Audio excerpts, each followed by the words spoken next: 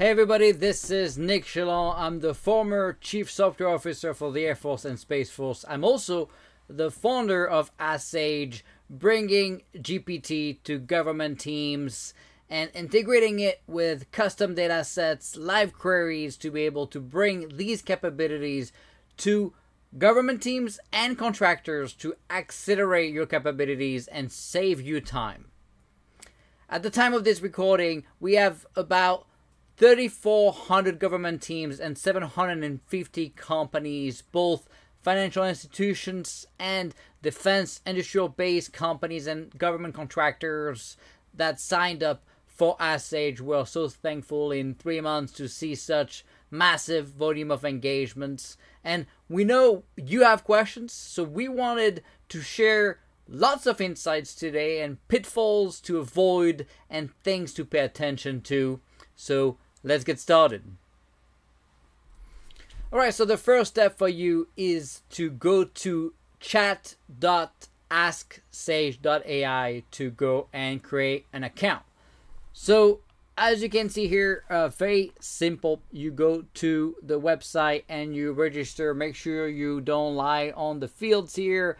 And if you do have a CAC or a PIV, make sure it's inside of your device when you do the registration here. Uh, but effectively, you're going to put your name, first name, company, email, phone, and uh, uh, select your country. Make sure you read the terms and condition, and then you're going to subscribe. You're going to get a code in your email to validate. If you don't get the code, let us know. We can force your account. So just send us an email at support at asksage.ai. We'll be able to help you to validate your account if you have any issue. Alright, so now that you have created that account, you can uh, log in either with a CAC here and uh, simply click here after registering uh, first. But uh, if not, you can uh, enter your uh, email and password, and we'll show you later as well how to activate multi-factor authentication if you don't have a CAC or a PIV as well. Alright, so the first thing you see when you log in is uh, this pop-up here. We always tell you to read it because there's a lot of great insights. Also, when you scroll down, you're going to see uh, all the new features we're adding and a lot of uh, great comments. So uh, check that out. Also, watch those videos uh, if you want to learn more about AskSage. And if you have issues, always you can find our uh, Discord community here and the support email and sales email as well. Alright, so first let's talk a little bit about AskSage architecture. I know a lot of, a lot of you have questions, and that's understandable. Uh, obviously, first for us, it was very important to be model agnostic. So we do support OpenAI, uh, GPT uh, 3.5, 4, uh, DaVinci, uh, GPT-4, 32,000 tokens, but we also support Cohere, Dolly V2, uh, Google Bard, and any other large language model that we can use. So we're agnostic, and the beauty there is the training we do on top of uh, those models is also agnostic. So you can train data and then ask questions to any of these models, and it's going to have the same insights that we uh, taught it. So that's uh, really enabling you not to get locked in to those large language models and uh, try different things and see what sticks. AskSage is hosted on Azure Gov Impact Level 5 for CUI. That's where we store all of our data, data sets. That's a multi-tenant stack. We also have an ability to host a dedicated tenant. We'll talk about that later. But the multi-tenant stack is on Azure Gov, and we have our dedicated enclave with Azure OpenAI with a dedicated endpoint that is on the FedRAMP High commercial regions where we brought all the controls to make it capable of doing impact level 5 work. So while the AskSage stack is on Azure government, uh, the API for the OpenAI models is on the FedRAMP high commercial regions and we have specific settings thanks to our partnership with Microsoft to do a find forget API. So effectively, it's not logging any information. Humans have no access to the prompts and the responses, but also the data is never used uh, to train the model. So effectively, when you ask a question uh, to the bot using OpenAI, uh, it's a fire and forget API, so it does not remember what he just said, and that's the beauty of what we built makes us uh, capable of doing impact level 5 work. And the way we make it remember what you ask is by passing again the history of the chat every time we have a conversation with the API. As you can see, AskSage has many data sets that we ingest and share across users, but your custom data sets are only visible to you. So if you train the bot on specific topics and create data sets, they're only visible to you and to the people you decide to share those data sets with. And that has to be done through us, by the way, for security reasons. But know that when you train the bot on data set, this is not visible to other users. And so effectively, it's almost like having your own dedicated bot data set experience on top of those large language models like OpenAI. Obviously, I care very much about security and data centricity is essential. We're built on top of zero trust. We have this model of labeling data. Each data set has a label that can be then shared to other users, but by default, they're only visible to you and that enables you to decide how you uh, assign data and how you cut it into different data sets by creating your own data labels and we'll show you how to do that. Alright, so why did we create Sage? Well, you know, like everybody, we started playing with GPT back in November, pretty much October. Uh, started uh, using it to write our video scripts, and that was great. I became kind of a pretty face reading the video scripts and uh, doing all videos And that was exciting. But what really got us really excited is when we started to uh, use it for mission work. And let me show you exactly the moment where I realized that uh, uh, this was way more than just some gimmick uh, capability uh, writing um, content for us. In this case, what really got me excited is when we had this uh, data set with Chinese uh, resumes of the CCP teams, and uh, it's unclassified and open source, and you know they have 150 fields of uh, different information. But you know what was pretty mind-boggling is uh, the volume of information, and if you put this on Google Translate, you get 150 fields, and your brain is not able to really understand who this person is. It's just too much information. And so we'll show you what I did, right? So we simply did translate and summarize uh, who this uh, person is. And this is a JSON uh, uh, document here um, in Chinese. So it's not in English other than the, the fields names.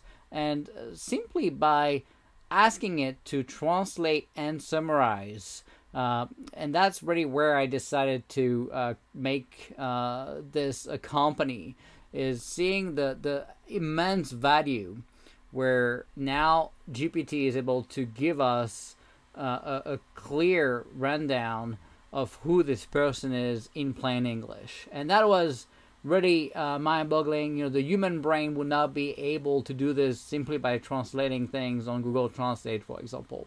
And so, as you can see now, we can pretty much picture who this person is.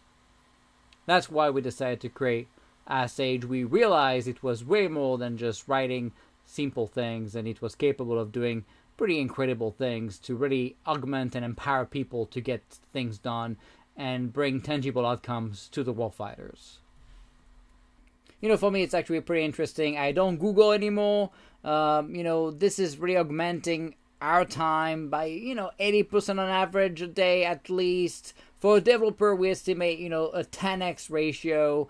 Uh, for teams responding to uh, RFPs, for example, we've seen them uh, be able to augment their volume uh, by 3 to 7x on average, which is really incredible. If you look at GPT and the value it brings to the table, it's really almost like a, a company as a service capability. What I mean by that is it's able to do pretty much anything. If you look at Sage itself, the logo of Sage was created uh, by the bot. The UI, 90% of it created by the bot, 90% of the backend, 100% of the SQL stuff, uh, 100% of the CI CD DevSecOps pipeline, 100% of legal. You know, if you look at all the capabilities we built, really everything was orchestrated and empowered through the use of AskSage to improve itself almost like, like an exponential capability. So obviously, a lot of people are worried about GPT, a lot of issues, a lot of challenges. Is it perfect? No, obviously not. Uh, but can it drastically improve your velocity and your outcomes? No doubt. And we're just getting started. You know, things are improving every day, and it's kind of mind boggling to see all the research coming out uh, from scientists and data scientists on the subject matter. And it's really uh, slowly but surely becoming uh, more and more safe, but also uh, more accurate and uh, factual. All right, so here let's look at the UI here a little bit. As you can see, we have uh, different conversations, and it's easy to rename them. Um, and we can easily do that and uh, delete uh, former chats. ideally, you want to create a new chat every time you change topic or you swap between personas and models. We'll talk about that today. Uh, you can edit, you can delete, um, and of course, you know, the conversation is kept, but do keep in mind that because of the token limit uh, of uh, the models, we only pass about 5 to 10 of the previous messages to the query, so it's not always tracking the entirety of your chat. So try to get things done in as little prompts as you can, ideally in one prompt or two, but don't start following up and keep asking questions. It's always better to get to outcomes in the in the small number of questions. All right, so what is a token? One token is about four English characters, but that changes also with coding and uh, Chinese and other languages. So an easy way to see how many tokens you just entered. If I write uh, this is a test, uh, you'll see here that the bottom uh, right here is going to show us this is 18 tokens of text, right? So this is a good way uh, for you to try to estimate the volume of, of tokens. All right, so let's start with a simple query here. We're going to ask it who I am um, and see what kind of answer we get just to show you how this works. Of course, we trained the bot on who I was, so it has all that insight. So, you know, what's interesting, obviously, is we get references, so we know where that came from, and we have follow-up uh, questions here, so you could ask, you know, additional questions, like what is the uh, DoD Enterprise DevSecOps initiative that Nic Chaillan uh, co-leads, and uh, this is going to give us additional insights here and give you additional references uh, for that question as well. So this is a very uh, easy way to, to start asking questions. Uh, like we talked about, always start a new chat if you change topic. You can do, do slash new uh, uh, with the command and create a new chat. Or you can also clear the chat by doing slash clear as well. All right, so now let's let's look at a maybe a more interesting example, maybe writing some code. So we're going to ask it to write um, the uh, write the code for Kubernetes uh, Nginx ingress that uh, leverages a mutual TLS authentication to authenticate users with a common access card. And let's see what it's going to give us. All right, so it just gave us the code of that uh, Kubernetes ingress, and it did add the uh, auth uh, depth and the verify client, which is exactly how you would do this uh, to activate. And the TLS secret will be obviously passing the, the, the root CA with all the DoD certificate here, which is exactly how we actually did build this uh, CAC authentication feature in uh, Sage for the DoD and .gov. So uh, pretty cool. As you can see, it's giving us also some additional information here, and uh, you can um, copy the code here, and uh, you have a, a, copy the entire uh, block here, but you also have a thumb down down button here to notify us when there is a bug. Don't use it when the answer is wrong. We can't help that, but notify us when you see a bug and there's an issue and you can just click this uh, thumb down button here uh, to help us fix it. Alright, so first let's look a little bit at the different models. Like I said, we're model not agnostic, so by the time you're watching this video we may have new models, but at least for these models that we have today, uh, you'll want to be able to know which one to use. They have different uh, price point. So you're going to pay more if you use GPT-4 or 32K than if you were using GPT-3.5, for example. When you buy an account with AskSage, you get DaVinci token, which is kind of the middle tier price point.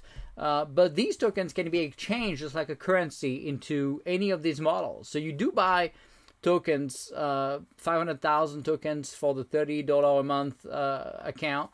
Uh, but keep in mind, this gives you uh, 5 million token with GPT-3.5, which is way cheaper. It's 10 times cheaper than DaVinci, so you get 5 million token.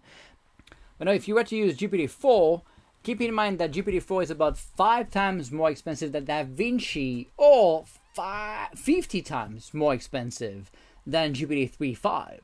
So you're getting, you know, only 100,000 tokens uh, when you have the paid subscription of GPT-4. And GPT-4 32K is 9 times more expensive than DaVinci or 90 times more than GPT-3.5. So you need to use the right model for the right job.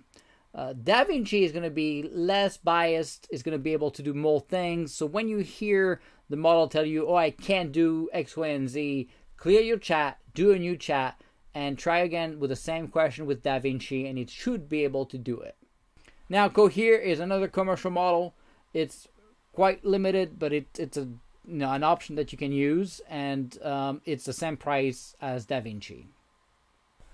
So when it comes to tokens, keep in mind you're paying not just for the question you're asking, but also the data we pass to the bot that we ingested. That could be data sets or insights we have, but also the reply that you're getting back, right? So you're paying tokens for all of the above, and we can only estimate what you're typing. We don't know how much we're going to pass in terms of data to that, and we don't know also how much the bot is going to respond to that. So it's impossible for us to predict how much one question is going to consume of tokens. But at least here at the bottom, right, if I copy this text here and I copy and paste it into the, the box here, it's going to tell us exactly here uh, that it's 169 tokens. All right, so when you sign up for a free account, you get 25,000 tokens and you don't get all of the plugins we have. So if you want to pay for a paid account and get the 500,000 tokens, so higher uh, limit, you can simply click on become a Sage customer today and you're going to be redirected to our Stripe payment. And you can use a credit card to pay. And for government teams, you can use a, a government purchase card for up to $10,000. So you can actually pay for up to 27 users per team. Uh, so that's very easy to, to do directly there. And reach out to us if you want to do bulk purchases. You don't have to put the credit card for each account. We can do that for you uh, in the back end. All right, so let's look at one of the biggest impediment that is called hallucination. It's when the body is making stuff up. It's just uh, creating uh, text and information that is just not accurate. Uh, so let's look at an example and let's create uh, an hallucination here. I'm going to use the Da Vinci model because it's more likely to hallucinate. I'm going to say something as simple as, so I'm going to ask who is Austin Bryan from AskSage and provide links with more information. And it's wrong obviously because Austin Bryan works for Defense Unicorn and not AskSage. So that's going to make it hallucinate. Right? We're misleading it to tell it it's work is working for uh, Ask Sage. And so here, what's interesting, right, is that it gave us links, but these links are not working, and they are, they are hallucinations. So it's telling us, hey, this might be a sign that this answer might be a hallucination. So that's something we built at Ask Sage to try to mitigate uh, all these issues with hallucinations. But let's try to, to ask the same question now on the GPT 3.5 model and, and try to compare what happens here. So see here it's e interesting because it's saying it's not sure, but you can find more information about their website, and it has a wrong page. It's not .io, it's .ai, and so the link is wrong, and so he knows it's hallucinating as well. But at least, as you can see with GPT 3.5, it's not making things up, saying that Austin Bryan is a CTO of Ask Sage. So to be clear, is very much less likely to hallucinate when he knows something. So that's why the more we train it, the more data we give it, the less likely it is that hallucinations are to happen. You're also going to see things where uh, Ask Sage is answering question and making stuff up. Like if you ask it to send an email uh, to somebody, it's going to say that it did, but it doesn't, right? It's not able to send emails. Ask Sage does not support that today. Uh, so it's a lie, right? Uh, Ask Sage is a text based chat, and uh, we're working on a lot of different plugins. So I'm not, you know, telling you that in the future we may not have an email plugin to email things to people, but right now that's not a capability we have. So as always, trust but verify. Look at the answers you're getting and try to make sure this actually makes sense. All right, so we have three types of memory, right? Short-term memory, long-term memory, and real-time. Short-term is your chat with the bot. That's just the current chat and the history of the chat. The long-term memory is stuff you can store in data sets into our vector database on Azure Gov Impact Level 5. And that is, you know, all the way up to CUI right now.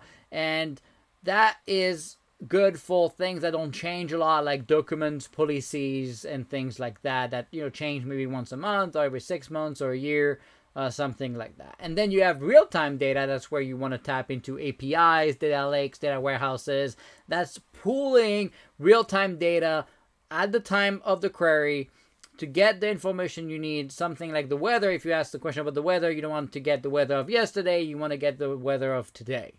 So a good example of that is the plugin we made with the METAR, with the FAA to get the weather from an airport. So if I say what is the METAR of ID in plain English, what's interesting is going to go uh, use the FAA METAR API to pull that uh, reference here that you see encoded, but yet it's able to translate that in plain English because I ask it to do that, and so it gives me all the information here in plain English.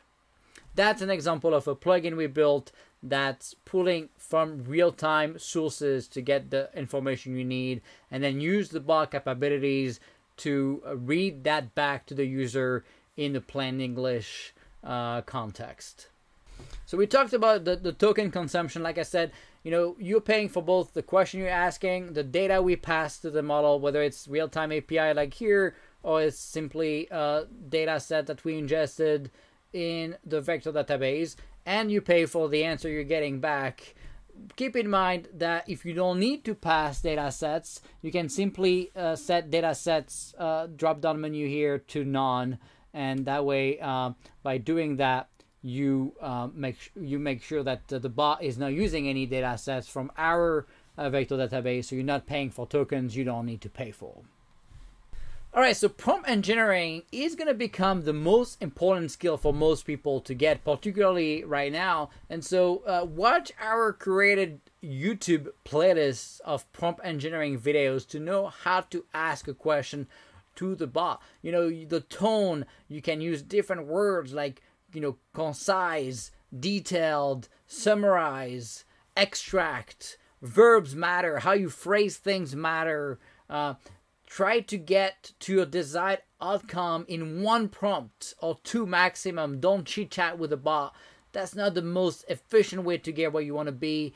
And the bot might forget all that past context along the way. So, and if you can't achieve something, most likely blame yourself. So far, I've yet to be able to find the limit of GPT. So it's all about prompt engineering and try to reflect. And for that, you know, we actually created a persona to um, help you with that, and it's called the uh, prompt engineer persona. And I'm going to use an example here. Uh, we have a we have a prompt here. I'm just going to copy and paste this, and uh, uh, I'm to ask the prompt engineer persona, and I always clear the chat when I change topic. So I'm to say, um, help me improve this prompt to gather medications and illnesses uh, from um, uh, a veteran medical record, right?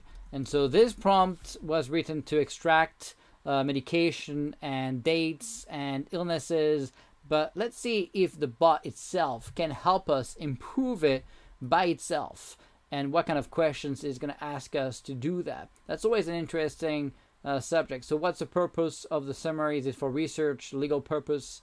Uh, can you provide more information about the medical reports? Are there uh, are they from a specific time period?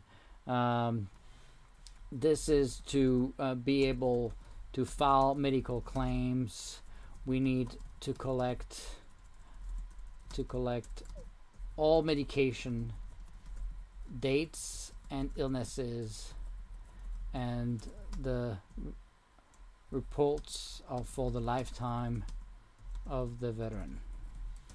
So then it's effectively continuously trying to improve the prompt, and it just gave me an updated uh, prompt that I could use uh, to get better outcomes and use that prompt engineer persona effectively to improve your questions so that you can get the right answer when you're struggling and trying to get things done. All right, so a lot of people ask us about use cases, and there are so many, right? It's pretty much unlimited, but we have people on the government side in acquisition writing RFPs with Sage and RFIs. We have people on the contractor side uh, using Sage to respond to RFPs and uh, we have people grading bids and categorizing, labeling data. It's very good at labeling content, coding, translation, reviewing code, uh, commenting code, using uh, DevSecOps engineering uh, principles to write YAML, uh, summarization and sentiment analysis, and so on. Uh, sky's really the limit. Let me show you how I wrote one of my uh, bid answer by using AskSage, and this was a bid f- coming from uh, Tradewinds, which is a great uh, DoD CDAO uh, program, and and so all I did, which is pretty uh, incredible, I copy and paste the bid. I'm going to show you my prompt here. I'm going to do a new chat. And I'm going to put contracting uh, officer, and I'm going to use a GPT-4 32K uh, module here. And uh, the body is already aware about Sage, but it's always good to give it a little bit more context. So I'm responded as, as Sage to this bid from the government. And so I'm just giving a little bit of context. I'm the CEO of AskSage, blah, blah, blah, context about AskSage. So I wrote a couple of sentences about AskSage here uh, based on the RFP and things I thought, you know, the, the, the, the product and the, the company would bring to the table. And then I wrote the government RFP information. I just copy and pasted the PDF. Nope, no formatting, anything. It's just the, the entire PDF here. And then I said end of context, and I said action. Make sure to follow all their requirements so the paper will be graded as acceptable by the JFAC and follow their proposed order, answering all the required questions, blah, blah, blah. Uh, and then I said, you know, follow, following their specific guidance, write the two page, 10,000 character detailed discovery paper to show how AskSage meets all the RFP requirements. And he gave me this, you know, perfect thing. I tweaked a little bit, a few paragraphs, and something that would have taken me probably a day or two uh, took me 37 minutes. All right, so other field here is uh, temperature here, and that field is important. It's uh, enabling you to uh, customize the level of randomness in the generated text. So if you want to stick to facts, you probably want a temperature down to zero. But if you want it to be more imaginative, uh, you can increase that to 0.5, maybe all the way to one. But you know, if you want to stay to facts, stay to uh, down to zero. So the live query is also essential. You know, as you probably know, um, the the large language models are trained at specific dates and times, and they don't know what happened after that. So if I were to ask who is the governor of Arkansas, well, it's going to be wrong because it's going to be stuck in time. So it thinks it's Asa uh, Hutchinson, and that's wrong. But if I clear the chat, and don't forget to clear the chat between the queries, if I do the, the live queries now, it's going to pull from Bing and Google and is going to give us now the right answer uh, because it has the latest uh, information here, as you can see. So always uh, interesting to, to, to look at live queries when you know uh, it's time sensitive and you want to get latest information as well. All right, so now let's look at personalities. Uh, we have a lot of options here going from an accountant to a contracting officer to a decoration writer to uh, an electrical engineer, a DevSecOps engineer, to a legal assistant. Of course, read all terms and conditions. You need to always validate legal uh, and medical information with a, a professional. Um, but as you can see, we, we have a lot of customized personas, all the way to a program manager, uh, an officer, uh, performance report writer. So that really helps you uh, customize the tone of the bot, the knowledge of the bot, but also sometimes the formatting of the answers. So if you want to have a specific uh, format. We can create customized uh, personas for you to follow maybe a specific templating that you have to follow in your responses. And so that, that really opens the door to a lot of possibilities by creating custom personas as well, which can be created on a per user basis as well. All right, so don't forget to clear the chats between personas and also uh, between models. Otherwise, uh, the bot might get confused. Uh, now, let's look at data ingestion. So, first of all, we have a lot of parsers, uh, PDF, HTML, uh, ingesting YouTube subtitle from videos, structured, unstructured data, you name it we have uh, some parsers. They're not all accessible to you directly, so you may have to reach out to us if you have questions about structured and unstructured data ingestion. We can tap into APIs, we can do a lot of different things. Uh, we're bringing a lot of different plugins to life for our paid users, including PDF, Word, PowerPoint parsers, and plugins will allow you to visualize the content but also train it in, in specific data sets and even summarize it if it's too long. And so a couple of plugins, as example here, we have this uh, import chain for text plain content. So in this case, since the size of the content could be hundreds of pages and uh, we're limited in number of tokens, we cut it into chunks. Then we train the chunks into the data sets. And then what we also do is we, we uh, propose to you to summarize uh, the content into summaries and train the summaries into uh, the uh, data sets as well to have uh, different uh, versions of that content uh, for querying it to find better results. So if you were to uh, use a book as an example, if you try to ingest a whole book, it's not going to work. It's too many tokens. So we would cut it into chapters, then do a summary of the chapters, and then do a summary of the summaries to get a summary of the whole book. So then we can ingest the, the whole book. And then if you have questions precise about one chapter of the book, it would tap into the precise chapter. But if you have broad questions, it will tap into the summarized versions. So this plug plugin here helps you do that. Now, another example that's interesting is let's say you ingest a, a, a database of resumes, right? You have 4,000 resumes. Um, the way we pass data into the model, we only pass maybe four to five results from the vector database based on the query that you you're typing. So it's not gonna go through all 4,000 uh, results. So if you were asking, you know, who is Mr. X, that's gonna work pretty well because it's gonna look at the closest results to Mr. X, and he's going to return that information, uh, and uh, that's going to very much likely to be correct if it's in, in the database, obviously.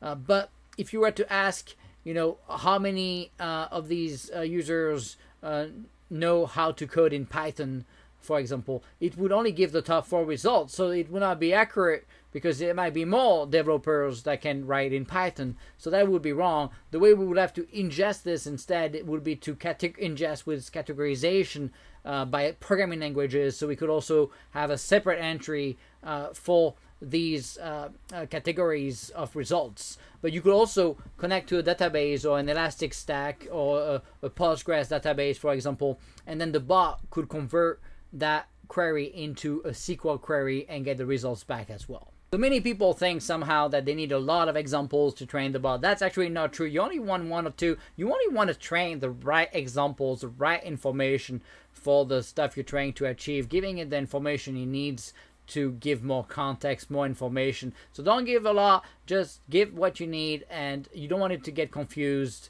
Don't forget, we only pass the top four results, so if you give too much information, it's not going to work. We also truncate the top four results to 500 tokens per result. So you don't want to train um, uh, results that are more than 500 tokens. You want to cut it down to 500 tokens, maybe summarize it, or maybe cut it into multiple pieces.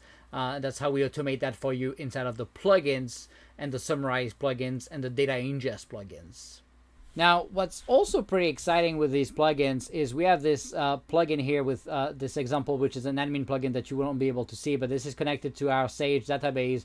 And what's pretty amazing is I can ask questions in plain English and get the results in real time. And just to show you what that looks like, uh, we have a couple of results here uh, that are old, but uh, uh, how many users have signed up in the month of April 2023? And it gave me the answer right here. Uh, so it's converting this question into uh, from plain English to a SQL query. And then what's interesting is sometimes the query is wrong, and so we get an error message, and so we tell the bot to self-reflect and, and improve its own SQL query uh, by giving it the error and fixing it, and then it fixes it behind the scene. You don't you don't see any of this, and it's uh, uh, you know giving us the right answer. And so this is really a game-changing capability. But as you can see here, if we ask, show me a table with the top five users who consume the most total tokens in April 2023, it, it knows it needs to give us a table, so it's going to give us a table. But when I ask it to add first name and email, it can automatically add uh, those results. So that's a good example of a plugin that's tapping into a live uh, database to pull the results and format it in the right way uh, to back to the user uh, to be uh, as efficient as possible. All right, so let's take a look at the data sets here. And um, like we talked about, by default, it selects all the data sets, but you can also put none if you're not using any of the trained data sets we have and you just want the the default large language model results, you can just set it to none so you're not paying for those tokens. Uh, but then we have ingested a lot of different information from acquisition.gov and, and DoD and Air Force and uh, some of my content as well. But then you can create your own data sets, and that really opens the door to your own customized content, uh, which really uh, enables you to uh, ingest your own data as well.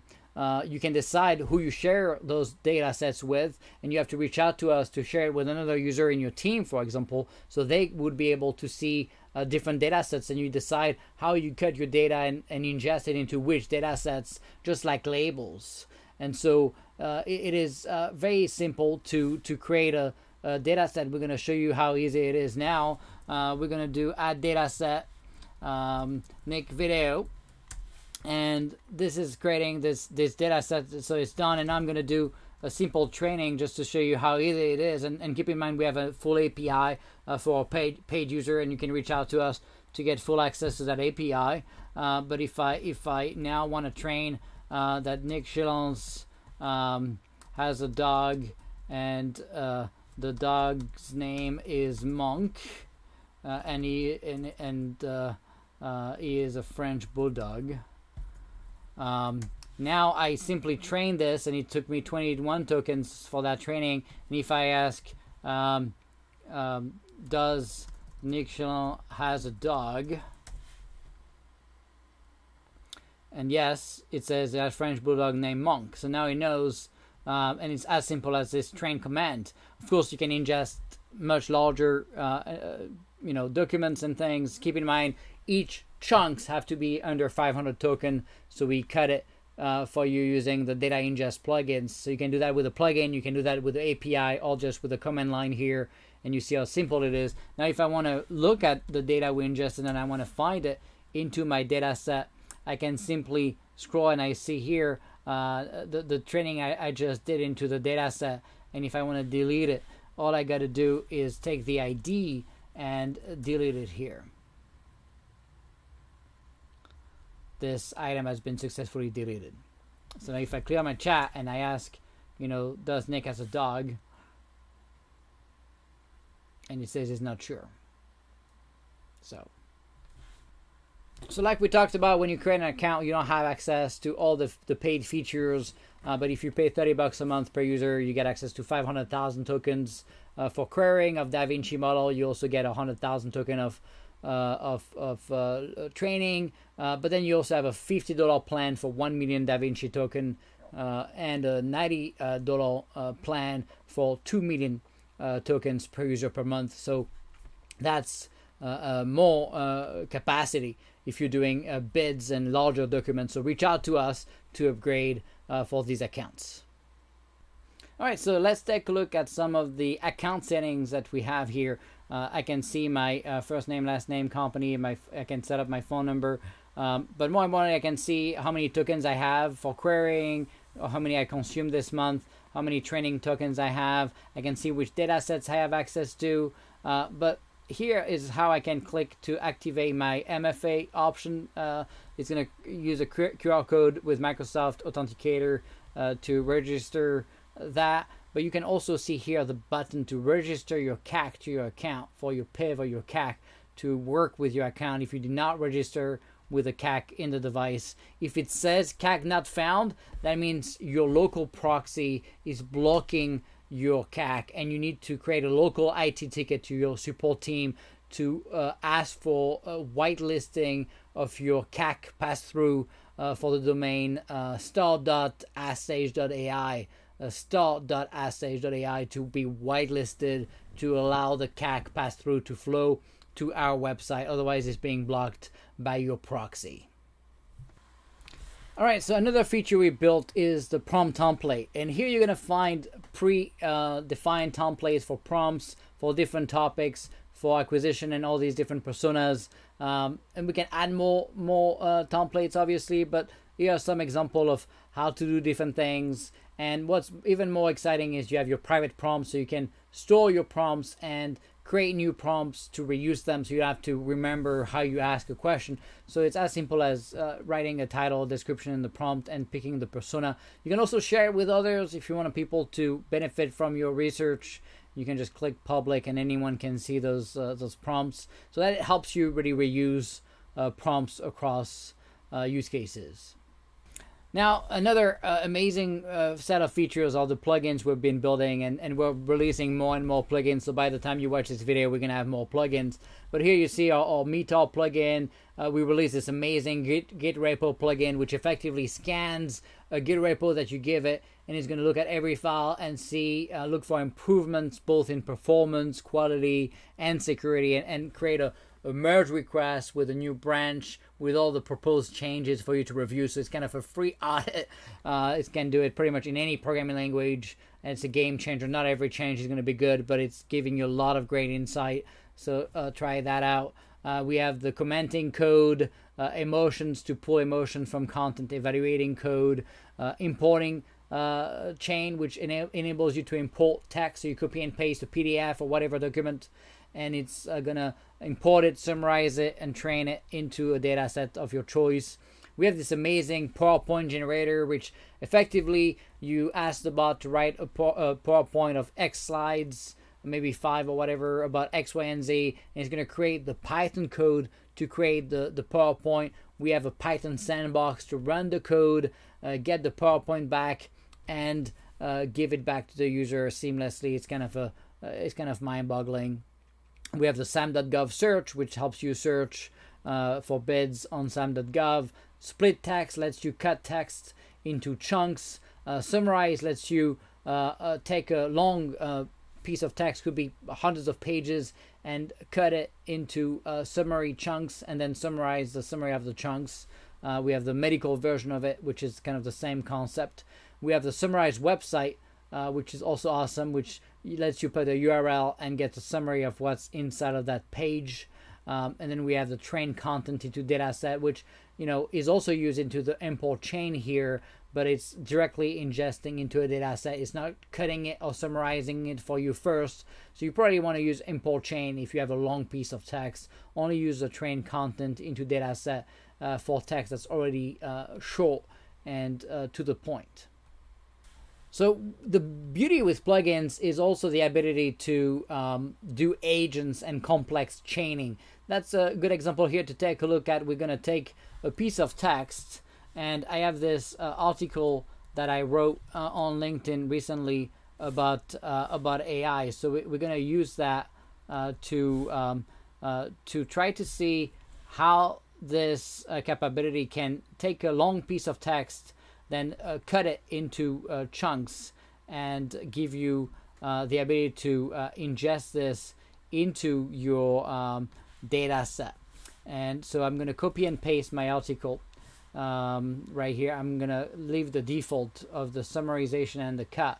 And I'm going to want to train it into my uh, Nic uh, video data set. And so it pre-populates my, my prompt here I just have to click uh, send.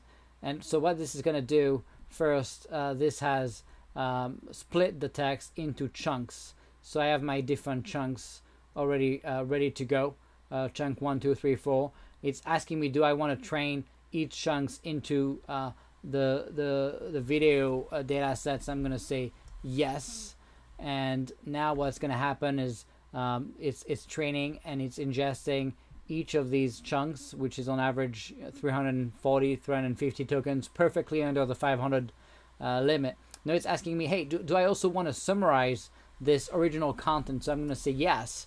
So what's going to happen here is going to take the, the text, the long text, and summarize it so that I have a summarized version of it, and it's going to give me back uh, that summary. Another little hint, when you use a plugin, uh, make sure that you pick the model that you want to use because it's going to use the model you specify here. So use GPT-3.5 if you if you don't need uh, something else or GPT-4, uh, but be careful. You know, only use the right model uh, when you run your plugins, so it uh, is going to adapt to the the token limit of these these models. So here I got my summary. So it gave me one, two, three, four pieces of, of summary of my article into much shorter chunks uh, that are much easier to to uh, summarize. So now uh, I can decide if I want to also train the summaries into my data sets, and I'm going to say yes. And now uh, my uh, data sets have ingested now 180, 150, 90, uh, 215 tokens here. Um, so now this summarized version is also in my uh, training. So now, depending on the questions I'm going to ask, it's going to pull the best results based on this article that I just ingested in a second. So as you can see with the chain, first he cut it into chunks, trained the chunks, summarized the article, trained the summarized chunks into the dataset, all seamlessly, all uh, with a, a, a, an agent plugin and so we can build these for you to effectively automate a day of work or a whole set of, uh, of steps and stages and conditions and decision trees to uh, uh, really automate a piece of work. Another uh, good example that we, we have built is the go no go flying decision with the Air Force, and it's effectively tapping into 20 uh, APIs from the FAA and Air Force and gathering all this icing weather data uh, to help the pilot make a flying decision. And so that shows you also the, the, the beauty of, of the decision tree by by uh, aggregating and putting data from different sources all into uh, the single uh, place in Sage to help make the right decisions. And so that's also a great example of a plugging agent that could be a, a game changer. All right, so we talked about this, but uh, uh, we have obviously this multi-tenant stack on chat.asksage.ai. Um, you know, hundreds of, of and thousands of people on this, but we also have the ability to host a dedicated enclave for you on your dedicated uh, Azure Gov enclave. So reach out to us for these. That's good if you're if you're getting up and you have maybe uh, already a lot of users on the multi-tenant side and you want to get a dedicated enclave, uh, maybe for security reasons or whatnot. We don't think it's necessary, honestly, when it comes to security, but but some people feel better having a multi-tenant stack, and we can do that. And that way, no one else has access to your data uh, other than you inside of your enclave. Now, a lot of people ask us, what are we working on when it comes to air gapped classified work? Well, OpenAI is now bringing their uh, API model anytime soon on the high side, but we do have partnerships with companies like Cohere and Databricks and others to bring their uh, large, language, large language models to uh, uh, the classified side. So we have an engagement with Microsoft and one with Amazon uh, on the secret and top secret fabric to bring large language models and fine tune them uh, for different use cases. But keep in mind, those models are not as good as OpenAI, and so it's pretty tough. Uh, not very good at coding either. So you know, very limited. But that's the best we can we can do now on the high side. And Sage is agnostic to the model, so the more model come, uh, the more we're going to be able to bring these options to the table. All right, I hope this was uh, helpful to you. Uh, if you want to come chat with us, come join us on the Discord community. We have hundreds of people now on the chat. Uh, always great to share insights and ideas and ask questions. I hope uh, this uh, get got you excited to come and uh, try Ask Sage and see what it can do to augment your time and your capabilities. And if we can help you uh, reach out to us at uh, uh sales at asksage.ai and we'll be happy uh, to answer any of your questions. Stay safe. See you soon.